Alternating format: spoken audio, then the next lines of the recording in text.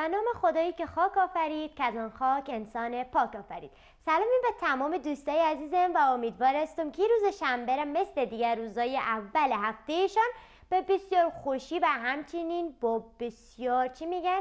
سلامت باشن و همچنین پر انرژی که باشن شروع کرده باشن. بله من سلام عرض می‌کنم خدمت تمامی شما عزیزان و نازنینا امیدوار هستم که مثل همیشه از سر حال پر انرژی و خندان باشی. سلام و سلام و سلام و هزاران سلام دوستکای عزیز. خدا کنه همگیتون خوب و جور و صحتمند باشین و بیننده برنامه خودتان باشین.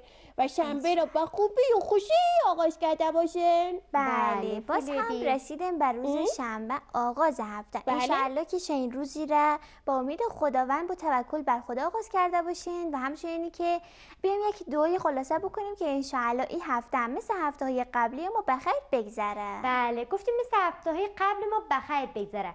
ولی با اون دوستای ما که خدای نکرده خدای نکرده. هفته قبل کاری اشتباهی انجام دادن. بله. یا حتی می‌تونیم بگیم که اصلا گناه کردن. یک کار انجام دادن که باعث گناه می‌شدن. یه هفته سعی کنن که کار اشتباه دیگه تکرار نکنن. بله. بله و دوستکای همون که مریض شدن خدا کنه زود خوب شن کلاگیشون. انشاءالله. و کسایی که سالم و سلامت هستن یک خدا را شکر می‌کنیم. میگیم الحمدلله که ما خوب هستیم و همچنین این را یاد ما باشه که باید بیشتر بیشتر مواظب خود ما باشیم. بله بله. و مثل همه هفته ها ما روز شنبه و دوستکای ما داستانای زیبا زیبا داره آفرین بله. فولیدی و بغیر از داستان دیگه چی داریم داخلش؟ ما سیم مثل سوال داره. بله داخلش آیتم سین مثل سوال داریم. بله اما بریم طرف داستان امروز. ما که نامش چی هست؟ داستانی که امروز ما می‌خوایم با هم دیگه بخوانیم. به نام خرگوشک دیگر دروغ نگو. امروز می‌خوایم این داستان رو با هم دیگه بخوانیم. و عکسش هم که شما می‌تونید تماشا بکنین که داستان ما چی هست و همچنین که از شکلش هم می‌بینیم یک خرگوش است که نامش هم که پیداست هرگز دروغ نگو بله. اما رقم که نامش معلوم است که فاطمه جان هم گفت پس می‌فهمیم که داستان در مورد چی است در مورد دروغ گفتن. و من بله. مطمئن هستم که داخلش بسیار یک مفهوم خوبم داره. ولی فولادی ببینیم دیگه. چیزی که بر دوستای ما بگیم دوستای نازنینم این داستان یک چیز جالبی که داره این هست که دروغ گفتن به حالت یک رقم تخیلی برای ما بیان کردن. و واقعا یک چیز جالبی هست یک مثال جالبی برای ما زده که در ذهن ما باشه که او اتفاق برای ما نیفته. اگر ما بخوایم رعایت بکنیم. بله پس فولدی بله. به دوستای ما میگی که حواسشون بسیار به داستان امروز ما باشن. بله دوستکا از دل و جون فکرتان در داستان زیبای ما بگیرین. ما داستان رو به بله. شما می‌خوانیم انشاءالله. شما خانم. غزل جان فولدی من خانم. خب درست است اول خودت بخوان. درست است. پس داستان امروز ما را با نام و یاد خدای مهربان شروع می‌کنیم. بله. معلم هاوارد دونپنبهی بعضی وقتها به او و همسنفیاش اجازه می‌داد. بعضی از چیزایی را که دوست دارن به مکتب ببرن و در مورد اونا صحبت بکنن. امروز هاوارد موش خانگیش را به همراه خودش برده بود. دوستش الی میگه وای چقدر خوب است. و تا می‌خواد قفس را باز کنه و از نزدیکتر او را ببینه موش از قفس میپره بیرون و فرار می‌کنه. و استاد یا همون خانم برتا فریاد می‌زند چه کسی قفس رو باز کرد؟ هاوارد به استاد می‌گوید قفل قفس خراب است. همیشه میآید بیرون. او تصمیم می‌گیرد نگوید دوستش این کار را کرده. چون اگر راستش را بگوید دوستش در درد سر میافتد.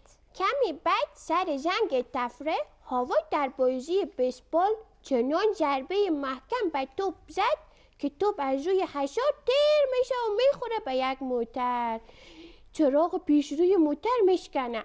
راننده عصبانی از بچه ها می‌پرسه که چراغ موترم رو شکست؟ همه به هاوارد سر می‌کنن. او باید تصمیم بگیرد و چه بگوید. هاوارد از راننده غریبه میترسه و جواب میده. من نمی‌فهمم چه کسی را کی کار کرده. آن روز بعد از ظهر در میلیبس دوست هاوارد نانسی پوز پدرش را می‌داد و با افتخار می‌گفت پدر من یک دکتر پیسدار است که جان آدم ها را نجات میده. پدر تو چی کار است؟ هاوارد سکوت می‌کنه او باید تصمیم بگیره چه بگوید. پدرش تازه شغلش از دست داده. هاوارد میگه قول بته به هیچ کس نگی. پدر من همون خرگوش انکبوتی است. ولی بار هاوارد تصمیم اشتباهی می‌گیره. در راه خانه برادرها و خواهرهای هاوارد از او می‌خواهند که با آنها مسابقه دوش بدهد. هاوارد باید تصمیم بگیرد که چه بگوید. او می‌داند که نفر آخر می شود بنابراین می‌گوید آخرین باری که دویدم گوشهایم را آنقدر تیز چرخاندم که احساس کردم مثل هلیکوپتر پرواز می‌کنم. و سرعتم از شما بیشتر است و این منصفانه نیست. پس بدون من مسابقه بدهید. و اینجا بود که هاوارد تصمیم اشتباهی می‌گیرد.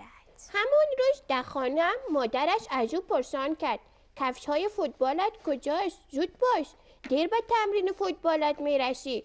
هاوارد نمی‌خواهد به تمرین برود. بنابراین کفشایش را پت می‌کنه خیلی بازیش خوب نیست و از زیاد دویدن هم خوشش نمیآید. او باید تصمیم بگیرد. می‌گوید نمی‌تونم کفشهایم را پیدا کنم. فکر نکنم بتانم بروم تمرین. ولی مادرش یک جفت کفش دیگر میاره و می‌گوید بیا این کفش ها رو به تو آماده کردم و بپوش. و هم هاوارد تصمیم اشتباه می‌گیره با اینکه در تمام این مدت صدای آرامی در سر هاوارد به او می‌گفت که دروغ گفتن اشتباه است. کم کم داشت دروغ گفتن برای هاوارد راحت و راحت تر می‌شد. ولی او آمادگی تحمل عواقب دروغ بعدی را نداشت. پدر هاوارد کوچ دلخواهی داشت که همیشه روی او می نشست و به بچه ها می و به بچه ها به او می گفتن کوچ پیسهی چون گاهی وقتا پدر هاوارد روی او می نشست و پولهای معیدش از جیبش می افتاد و می رفت در مابین های روی کوچ جمعه به جمعه اولین کسی که از خواب بیدار می شد با عجله به طبقه پایین می رفت و پیسه های معده را بر می داشت. اما شرطش این بود که همه پیسه های پیدا شده از مبین توشک کوچ را به طور مساوی بین همه خواهرها و برادرها تقسیم کند. صبح جمعه هاوارد قبل از بقیه بچه ها دوید طبقه پایین و شروع کرد به گشتن. بین توشک کوچ و چند سکه پیدا کرد. و همین قسم که آنها را در جیبش میگذاشت به خودش فکر کرد به به چقدر پیسه معیده فکر کنم بهتر از اینها را فقط برای خودم نگه دارم سر میز صبحانه پدر هاوارد پرسید کسی از ما بین کوچ من پیسه میده پیدا نکرده؟ همه بچه ها با ناامیدی سرشان رو تکان دادن. هاوارد باید تصمیم می‌گرفت. او گفت این هفته پولی در کنار او نبود پدر. و پدرش مدت طولانی به ناراحتی به او سل کرد. و باز هم هاوارد تصمیم اشتباهی گرفت. هاوارد از دست خودش دلخور بود. او به دلیل تمام دروغایی که گفته بود به خصوص دروغ آخری که به پدرش گفته بود او شب نتانست که بخوابد. مدام چهره پدر و نگاه ناراحت پدرش به یادش میآمد. حس بد هاوارد از گفتن دروغ مثل بار سنگینی دشانش بود. فقط بگی که یک میمون به پشتش چسبیده باشد. صبح روز بعد هاوارد با حالت بدی از خواب بیدار شد. او می‌دانست که باید راستش را به پدرش بگوید ولی می ترسید که این کار پدرش را حتی از قبل هم ناراحت تر کند. بنابراین چیزی نگفت. این کار باعث شد شادی روی پشتش بزرگ و بزرگتر شود. آخر آن روز هاوارد از دروغهایش احساس وحشتناکی داشت. بالاخره او با صدای آرام در سرش به وجدانش گوش داد که می‌گفت دروغ گفتن اشتباه است و تصمیم گرفت که راستش را به پدرش بگوید. و این بار هاوارد تصمیم درستی گرفت. او شب به محض که پدر به خانه آمد هاوارد همه چیز را به او گفت. من تازگی ها اصلا راستگو نبودم و شروع کرد به گریه کردن. هاوارد گفت گوشای من مثل بالای هلیکوپتر که نمیچرخه. من کفش های فوتبالم را خودم پود کردم. من از کوچ پیسه ای خودم پیسه میده را پیدا کردم؟ ولی به شما و بقیه دروغ گفتم. متاسف هستم. شما هم خرگوش انکبوتی نیستید. و ناگهان قافلگیر شد. شادی پشتش رفته بود. هاوارد احساس خیلی خوبی داشت که بالاخره به صدای آرام در سرش گوش کرده شجاعت به خرج داده و راستش را گفته است. هاوارد تصمیم درستی گرفته بود. پدرش گفت هاوارد من به تو افتخار می‌کنم. وقتی راستش نمیگی حس بهتری به خودت پیدا می‌کنی. دروغ گفتن تو رو بسیار ناراحت می‌کنه. و باعث میشه حس بدی به خودت داشته باشی. اگه دروغ بگی هیچکس به تو اعتماد نمی‌کنه. بیا با هم فرصتی از فهرستی ببخشید. بیا با هم فهرستی از نام کسایی رو بنویسیم که باید از اونا مذرت بخوایی و خودت قول بده از حال به بعد حتی اگه ترسیدی هم بازم تصمیم درستی بگیری.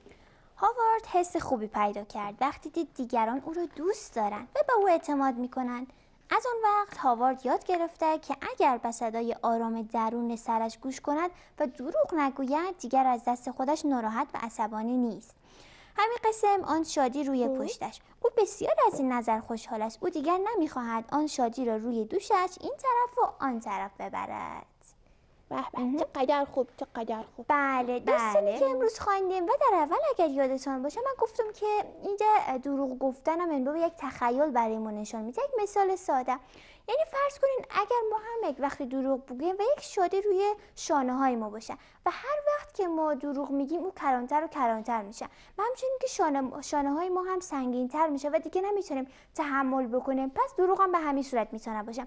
اگر ما پشت سر هم دروغ بگوییم باعث میشه که خیلی کسا از ما ناراضی باشن و حتی خدای ما از ما ناراحت شود. پس در این صورت این همه گناهی که زمانی که روی دوش ما باشه در صورت می‌تونه سنگین باشه و یک وقتی هست که دیگه نمی‌تونیم از پسش بر بیاییم. بله. فاطمه جان یک گپی دیگری که می‌تونیم از این داستان بر دوستای ما بگیم است که مثلا خدای نکرده خدای نکرده حتی اگه ما یک دروغ بگیم. بله. وقتی که یک دروغ را گفتیم خب این میشه دو تا این میشه سه تا این میشه چهار تا و خیلی دروغای دیگه. ولی اگه سعی بکنیم که در همون اولین دروغ یا دومین دروغ متوجه اشتباه ما شویم و بریم به کسایی که دروغ گفتیم از اینا معذرت خواهی بکنیم. چون هم. قسمی که فاطمه گفت ممکن است که به مرور زمان او شادی رو ما دیگه نتونیم از روی ما پس بکنیم. بله. و هاوارد هر وقت هم که دروغ می‌گفت او شادی بوده. آفرین. بله. او شادی همیشه شاهد گناهاش بوده. دقیقاً. شاهد دروغ گفتناش بوده. و من بله. یک چیز دیگر هم که از داستان فهمیدم می‌فهمید چی بود؟ چی بود؟ چی بود؟ ای که ما اگه یک بار دروغ بگوییم بار دیگه مجبور میشیم دروغ بگوییم. خیلی از بله. اولی دروغ نگوییم. دقیقاً دقیقا فولیدی. مثلا اگر مثال ساده بزنیم که مثلا مادر ما میگه چرا برو درس بخوان و ما میگیم که مثلا فلان روز نمیریم. اصلا نمیگیم که چرا درس نمی‌خوانیم. و میگه مثلا فلان روز ما مکتب نرفته بودیم. پس چه شد؟ دو تا دروغ. یکی این که مثلا گفتیم نمیفهم یک دلیل دیگه در صورتی که ما مکتب رفته بودیم ولی چرا درس نمی‌خونیم اینجا یک دروغ. و به خاطر از اینکه ما چرا مکتب نرفته بودیم باز باید یک دروغ دیگه بگیم. یعنی یک دروغ زمانی که ما میگیم شروع دروغ های دیگه هست پس انشاءالله همیشه ما از این دروغ ها دور باشیم و خدای نکرده خدای نکرده. اگر دچار دروغ ها شدیم بتونیم زودتر خودمون رو رها بسازیم و یادمون نره که معذرت خواهی می‌تونه موثر باشه. اگر ما به مادر جان عزیز و نازنین و زحمتکش ما اگر ما دروغ گفتیم می‌تونیم با یک معذرت خواهی از دلش در بیاریم بله. اما در صورتی هست که ما واقعا پشیمون باشیم از او اشتباهی بله. بله. جان بله یک چیز دیگر هم که فهمیدم بگویم بگو فولیدی ای که یک شخص دروغگوی هیچ کس خوش نداره و هیچ دوستی هم پیدا. نمی‌تونه اگر دوستم پیدا بتونه. سرش اعتماد نمی‌کنه و او رو خوش نداره آفرین بله. فولیدی